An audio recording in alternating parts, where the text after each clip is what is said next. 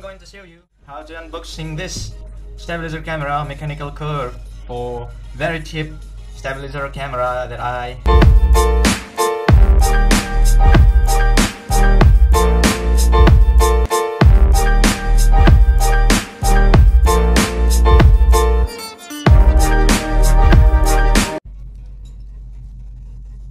I think to feedback on the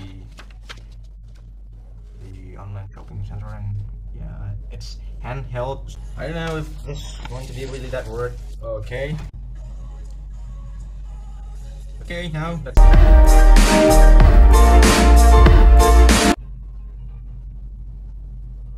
so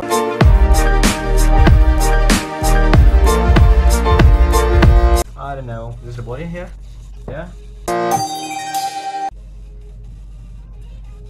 Okay so synchronizing with the load of the camera just right over there yeah it is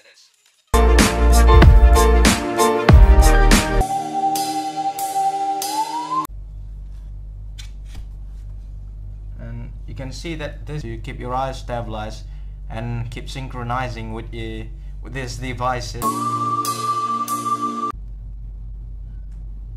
To keep this synchronized and yeah.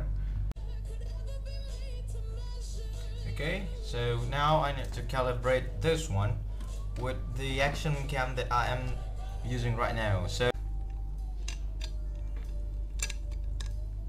okay. Now I think that I should do